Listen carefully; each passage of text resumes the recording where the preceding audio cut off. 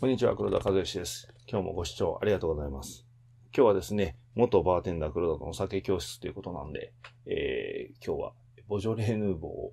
今年のボジョレーヌーボーをいただいたので、飲みながらやっております。まあ、ヌーボーってすごい、なんかブドウジュースみたいで美味しいですね。えー、というわけで始めていきたいと思いますが、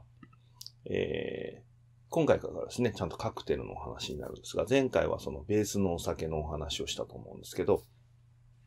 カクテルっていうのはビルドとシェイクとステアとブレンドっていう4種類の手法で作られるんですね。で、ビルドっていうのは、えー、まあ、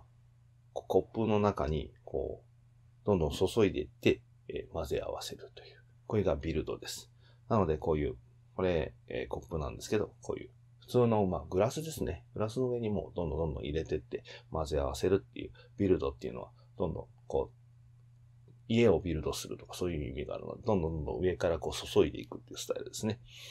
で、混ぜることもあるんですけど、そのままあの、レインボーみたいにこう色がこうね、7種類に分けて、こう、重さ、比重の重いものから順番に入れてって、こう、混ぜながら飲むっていうやつがあるんですけど、そういうレインボーっていうやつなんかもビルドになります。シェイクっていうのは、まあ、皆さんよく知ってる、この、シェーカーってやつに入れるんですけど、今日はそのお話をしますね。氷を入れて、こう、早く混ぜ合わせて。とりあえず、その、混ぜ、混ざりにくいお酒を、こう、氷を入れて、こう、一挙に混ぜてしまって、冷やしながら混ぜるっていうことなんですね。これをシェイクと言います。ステアっていうのは、まあ、これ、あの、ガラスのグラスも多いんですけど、このステアグラスっていうところに氷を入れて、で、お酒を入れて、で、氷を入れながら、こう、えっと、バースプーンって、これですね。このバースプーンってやつで混ぜるわけですね。バースプーンはですね、このスプーンがこう、こういう状況になって、それが背がこういう、こういう状況でずっとこう背がこうなった状況で、こう指でこうやって回していくんですけど、これちょっとテクニックがいるんですね。まあ、練習しましたね。えー、ステアで有名なのはマティーニとか、あのーこういう、本当は透明のグラスに入れるんですけど、透明のグラスに入れて、まあこれステアグラスですね。あの、コップになってますけど、この中に氷を入れて、ジン入れて、ベルモット入れて、あと混ぜて。で、このストレーナーってやつで、こう、蓋をして、こう、注ぐというスタイルですね。これがステアと言います。で、ブレンドっていうのは何かっていうとですね、あの、ブレンダーって言って、あの、ミキサーですね。あれに氷とか入れて、あの、フローズン大切りとか、まあ、まさにブレンドで作るんですけども、もう学生の時めちゃくちゃ飲みましたね。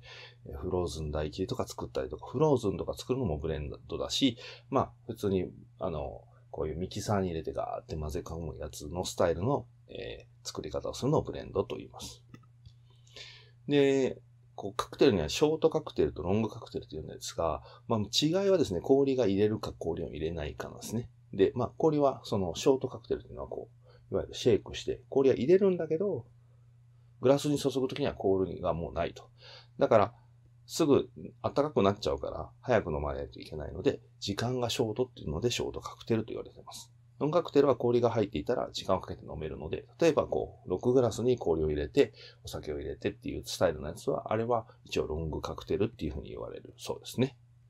というわけで、ショートカクテル今日は4つご紹介したいと思います。まずそのベースになるものの覚え方を覚えていただいてですね、えー、このサイドカー、バラライカ、ホワイトレディ、XYZ っていうのを覚えていただきたいなと思いますね。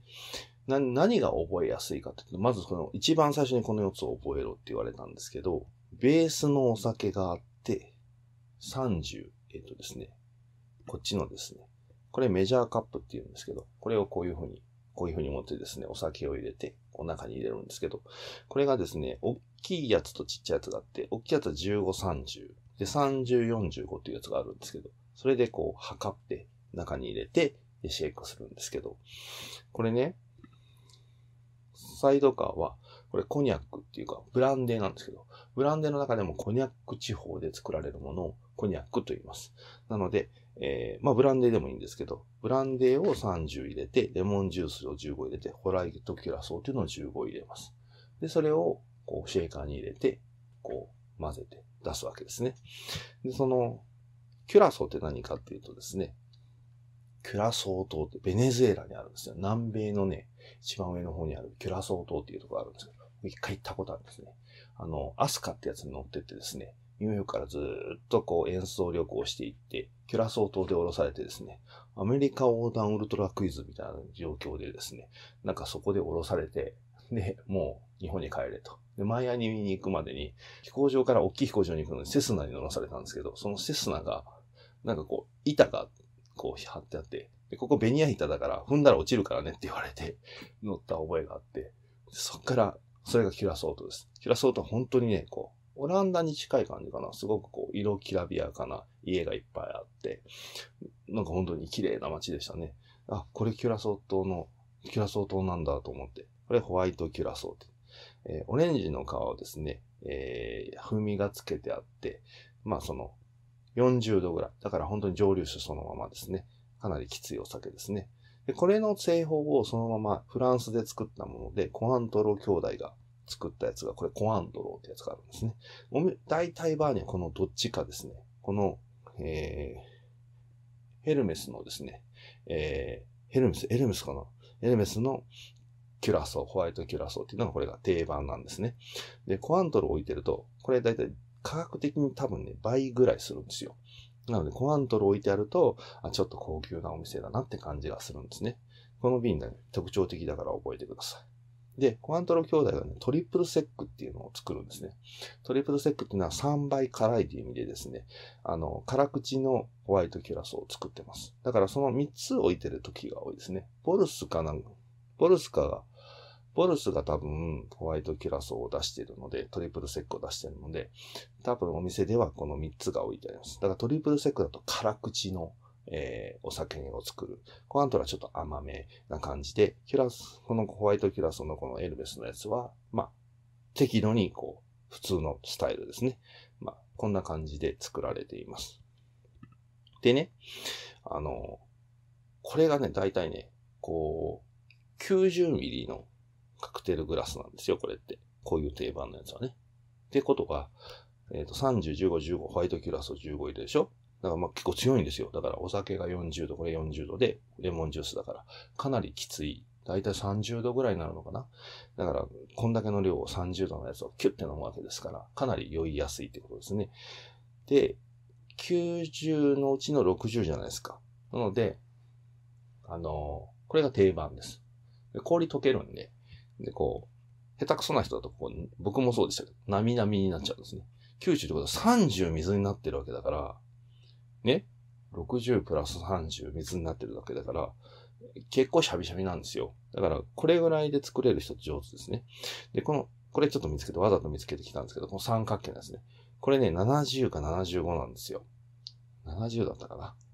なので、70なんで、60なんでしょ？そうすると、こう、ちょっとなみなみ積んでいますが、これだと10しか氷が溶けちゃいけないわけですよ。そうすると、いかに手際よく、もともと氷を、その製氷機で作ったものとかをちゃんと氷でもっぺ締めてるとか、手間をかけてあったりとかね。で、その、ものが、その、ベースになるものも冷凍庫に入れてあったりとかすると、冷たいから氷溶けないじゃないですか。そういう手間をかけてあって手早くやると、こういう風な70、70ミリのえー、グラスでも、こう、なみなみで綺麗に。ってことは、ここは、こう、バーテンダーがいいんだな、みたいな感じで見ていただけるといいかな。で、コニャックで作るとサイドカーなんですね。で、サイドカーっていうのは、あの、車のね、あの、車じゃか、バイク、バイクのさ、このサイドカーってあるでしょ？で、あれって、この、こっちに女の人乗るじゃないですか。で、こっち男でしょ？そうすると、女の人ってね、事故った時に女の人がやっぱりこう、亡くなることが多かったみたいで、まあ、女殺しっていう意味でサイドカーってつけたと。まあ、要は、その、こんだけ強いお酒、30度のお酒をこうやってキュッて飲ませるわけでしょ？2、3杯飲んだら女の人はもうイコロですよ。なんで、サイドカーというふうに名前付けられたと。まあ他にもまあ作った人がサイドカー乗ってきたとかいろいろあるんですが、僕はまあ今の、えエピソードを採用します。えー、というわけで、これがまあ多分元々のベースだと思うんですけど、こっからいろいろ派生して作って、これがベースがですね、ウォッカになると、こう、バラライカ。バラライカっていうのはこれこれなんですよ。これあの、ロシアの、ね、楽器なんですけど、バラライカって言うんですね。で、この形がね、まさにこれでしょだからそういう意味もあって、ロシアのウォッカを使った、あの、ショートカクテルでバラライカって名前になってます。ね。ウォッカはいろんな種類があったと思うんですが、まあ、ズブロッカ使うことないですけど、ウォッカもいろいろ、スミノフとかいろいろあるんで、このベースで、こう、ベースを違いでも味を、こう、味の違いを楽しめると。ホワイトレディはジンですね。ジンは本当に多いんで、僕がよく通ってるバーなんかは150種類ジンがあるので、ジンで、このいろんなジンでホワイトレディを作ってもらうっていうのもちょっと粋な飲み方かなと思います。XYZ っていうのはラムですね。ラム酒でこれを作ると XYZ になるわけですね。なので、XYZ っていうのは、えっと、もう後がないっていう意味なんですね。XYZ、後がない。確かに、ね、シティハンスターのサエバ量が、えー、こう、仕事を受けるときに、この、手紙をもらったときに XYZ って書いてると、もう後がないから、えー、お前に仕事を頼みたいっていう話があったと思うんですが、これ同じですね。意味は同じ XYZ というダムですね。まあ、どちらにせよですね、サイドカーにしたって XYZ にしたってですね、まあ、要は、こう、まあ、酔わせてやばいですよ。これ飲んじゃったら美味しいけど、2、3杯飲んじゃったらもう足腰立ちませんよっていう意味の名前のネーミングだと思うんですが、えー、この辺ですね、キュッといっぱい飲んでいただけると。これなんかはですね、サイドカーはもうオレンジ、その、コアントロとかのオレンジピールに対して、さらにオレンジの風味をつけるのに、もうオレンジの果肉を入れて、こう、シェイクする人もいたりします。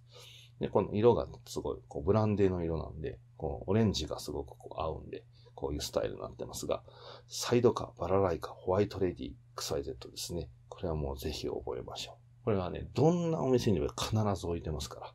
だってベースでブランデーとかウォッカとかジンとかラムを置いてない店はないですからね。で、キュラソは絶対置いてますから、って考えると、ベースとレモンとキュラソです。キュラソはそのまま飲む人もいます。あとですね、えー、っと、コーヒーにキュラソーをちょっと入れるっていうのが結構こう、一時期フランスで流行ったりしてますから、そういう飲み方もできますね。えー、お菓子なんかにも使われる、キュラソーっていうのはリキュールになるんですけど、このリキュールと言われるお酒ですね。つまりこう、基本形を覚えるとですね、このベースが変わるだけで名前が変わっていくので、芋づる式に覚えていけるんですね。これがすごい大事だと最初先輩に覚わりました。なので、こうベースをこの間覚えましたから、この4つのカクテルを覚えてですね、ぜひ女の子とか、えー、ちょっと落としたいか男の子とかに、これちょっと飲んでみたい？みたいな感じで、こう進めていただけたらと思います。えー、ちょっとボジョレが回ってきましたんで、この辺で終わりたいと思います。美味しい。というわけで、今日もご視聴最後までありがとうございました。今日も最後までご視聴ありがとうございました。今日の動画があなたにとって面白いなとかためになったなと思われる方は、いいねボタンを押してください。チャンネル登録の方もよろしくお願いします。私のメールマガジンがありますので、詳細の欄から URL がありますから、そちらで紹介ページの方でぜひメールマガジンのご検討ください。毎日僕からメールが届きます。ジャズドラムのこととか、ジャズの歴史のこととか、心理学のことについて毎日動画とその解説をお送りしますので、よろしくお願いします。3大特典もついておりますので、ぜひご検討ください。それでは今日は最後までご視聴ありがとうございました。黒田和義チャンネルでした。